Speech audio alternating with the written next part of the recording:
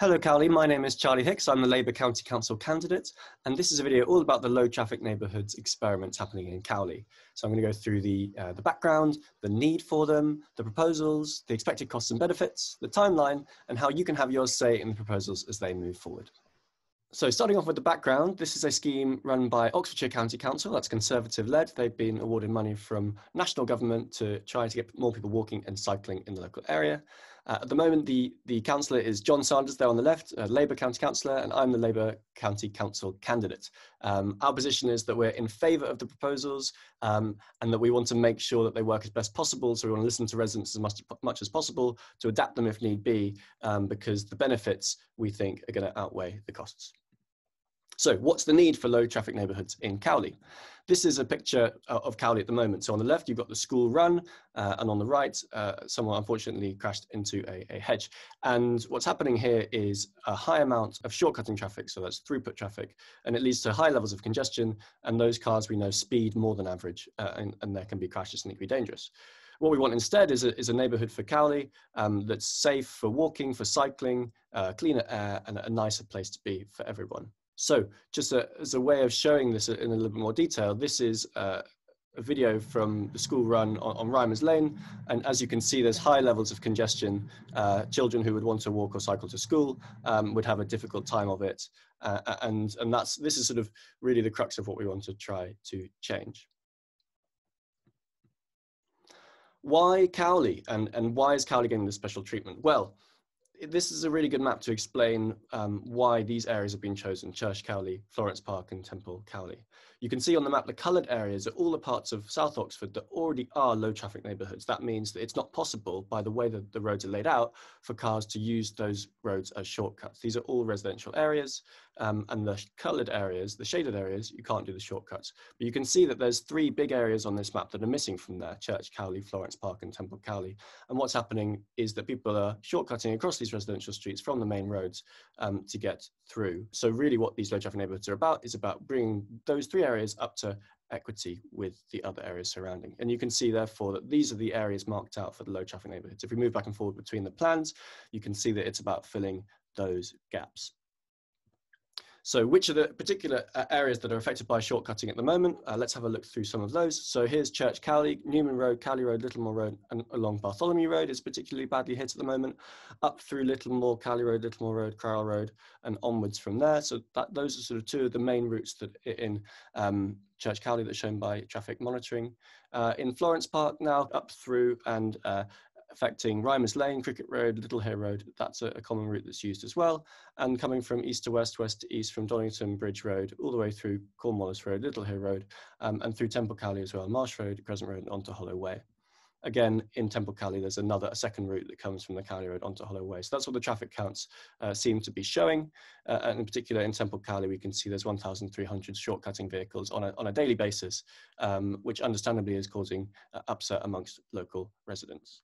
So what are the proposals? Well, they're all about trying to uh, prevent this from happening, to stop that shortcutting from happening, but enabling access for everyone who still lives there, for deliveries, for emergency services, and so on and so forth. So they are, point uh, blocks in the road. Uh, so that means planters, and uh, they look a bit like this. So it's all about preventing that through traffic, preventing those shortcuts, but still enabling access for everyone who lives there. So that's the one for um, Church Cowley. This is for Temple Cowley and this is the one for Florence Park. They're all available on the County Council website. And I should say, and I'll, talk a little bit later in the timeline, this is done as an experiment. And so the position of these uh, planters may change in the future subject to consultation, to feedback from residents in terms of what happens. That's how they are laid out as at the moment. Uh, just a little extra bit of detail. This is what planters look like. Um, so they're sort of wooden boxes. They allow through uh, walking and cycling, um, a bit of greenery, a bit of plants on there as well. Um, and, and that's roughly what they'll look like. So I've been speaking with lots of local residents about this, those who are concerned, those who are really in favour, and I've tried to list out what are the expected costs and benefits. So the expected costs and the worries that are coming from local residents are mainly around two things, it seems. One is about an increase of traffic on, on, on those few roads, um, And what seems to happen in, in the other uh, low traffic neighborhoods that we've learned from in London is that there is that increase on a few roads, uh, especially those on, on the borders, um, but they then turn, return back to normal levels as people adjust to the new plans within a number of months. Uh, the second cost that people are concerned about is around the reduced number of routes in and out of residential areas, uh, and that is certainly true um, based on what the plans are um, and you know the knock-on effects from there. The traffic levels are definitely our biggest concern as well, and we definitely don't want to see anyone uh, negatively impacted by these plans in any considerable way. We want to make sure that uh, mitigations are put in place for anyone that sees uh, any increase on their roads, so that that negative impact is mitigated reduced as much as possible. We also want to make sure that there's lots and lots of dialogue between residents and county councils, so that adaptations can be made where necessary, and we get to the best outcome for the community. Just having a look at the traffic levels, um, this is what we've learned from Waltham Forest in London, who, who put in their low traffic neighborhoods about five years ago. And within the space, I think this was nine months after the plans went in, you can see the top third of these roads are in, within the residential area, within the low traffic neighborhoods, and then the bottom three are on the perimeter roads. And this is looking at the change in traffic levels from before and after what you can see is a, is a really, really big, big, big reduction in, in the overall levels of traffic within the low traffic neighborhoods with a, with a couple of roads there that, that take a bit more. And the perimeter roads, again, take a little bit more, but overall, um, there's a much bigger decrease than there is an increase. If we have a look at the overall levels, see a 56% decrease within the low traffic neighborhood and 11% increase on the perimeter roads. This was done nine months after. We'd expect some, again, adjustment further down the line and that, that would come back to more normal levels from there. In terms of absolute numbers of cars on the roads, what they saw is an overall decrease that was greater than the increase on some other roads. And this is where the term traffic evaporation comes from a 16% decrease of all journeys. Uh, there's evidence to show that lots of people have sort of transitioned to more walking and cycling, which, which with it brings lots of benefits for the community. So the expected benefits, therefore, if we do see that reduced traffic on residential streets and overall reduced traffic in the area, it's about those safer and quieter streets, more children walking and cycling to school, cleaner air, more exercise, better health, better well-being. It's better for people who are using those greener types of transport, people using buggies and wheelchairs. It's better for bus journeys because it's going to make those faster, reduce the congestion. Better for local business because more people use them. It, it, that's what it, the evidence shows. And it's better for community because there's more chance uh, meetings that happen in the street. So those are the kind of benefits, and this is really sort of why we're driving for and why we think it's going to be a good idea. Just to give a sort of pictorial sense of this, this is a picture currently at the moment on Rymers Lane, and this is a sort of artist's impression of what it could look like um, with low traffic neighborhoods based on, on what's been happening in, in other parts of the country. So it's really about you sort of take from this uh, sense from this picture about increasing sort of community, increasing walking and cycling, uh, cleaner air, and um, a nicer environment to be in overall. But still notice that you can drive to every single point within the neighborhood. So it's about basically um, making sure that there's access for everybody. One of the biggest benefits that I uh, love to see from the uh, low traffic neighborhoods and expect to see is around uh, people cycling. So here we can see this is taken from Dulwich, who've done it in South London recently, a doubling of cycling in the local area from before and after. And in particular, we can see here a tenfold increase of children who are cycling to school. Uh, and for me, this is a, is a really, really exciting uh, opportunity to improve the neighborhood, um, take cars off the road for the school run, uh, clean the air, have more exercise. Um, and that, that would be a really big benefit from low traffic neighborhoods especially because there are so many schools in the area. Combined to that, there's school streets that are coming in. Um, we expect um, from additional funding that's come from uh, national government for county council.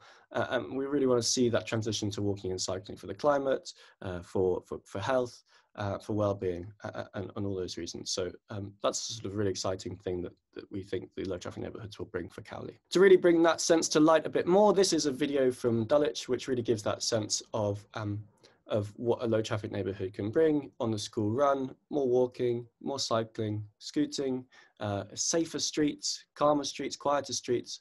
Uh, uh, and this is really, um, really this is a positive, um, what we're, what we're sort of aiming towards in terms of low traffic neighborhoods. And this is the vision that we really want to see for Cowley um, and really want to, to get there with the low traffic neighbourhoods. So last but not least is the timeline and talk a little bit about the process by which the County Council are, are implementing this. So in the summer of 2020, that was when funding was awarded from the national government, and there was a big amount of community engagement and communication that went out then. At the moment, when I'm making this video in December 2020, there's a consultation for the uh, pre-implementation phase to, to understand um, all the detail, what the, what the community thinks, um, and that's happening. If it then goes ahead, the proposed implementation time is February, March of 2021, and that's the start of the experiment under the Experimental Traffic Regulation Order. And this is sort of important to, to, to, to understand the experimental traffic regulation order is there in order to um, have a consultation period alongside uh, all the times that residents can feed in and that adaptations can be made along the way so that improvements um, can be made and we get to the best outcome for the community. After six months, uh, the council can decide to make it permanent, continue or cancel, and then they can, so if they uh, decide to continue it, then it will go for another up to 12 months, at which point it's the end of the experiment um, and they decide whether to ditch it or, or make it permanent. And so the key bit here is that the consultation, the core bit of consultation happens alongside it so that residents can uh, can make comments based on what actually happens. But also the County Council decided to put in the consultation beforehand as well to ensure that, the, that there's lots and lots of feed, feedback from the community. And we'd really encourage that all residents fill in that pre-implementation consultation uh, if they haven't done so already.